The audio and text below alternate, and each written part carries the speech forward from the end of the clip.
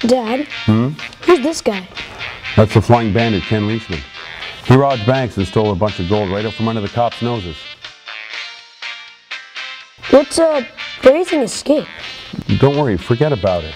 How about a charming conman? Don't you have some homework to do?